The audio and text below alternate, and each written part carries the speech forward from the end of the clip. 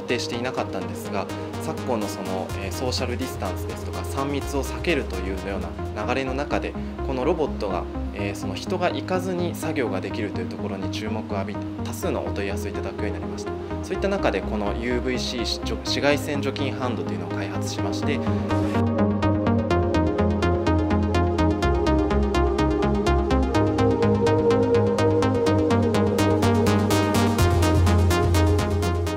外からは特に今回の新型コロナの、え